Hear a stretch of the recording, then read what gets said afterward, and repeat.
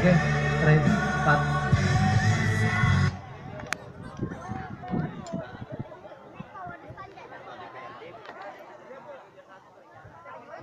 Kapten Lim agak tengah Pak, biar orang semua Bapak.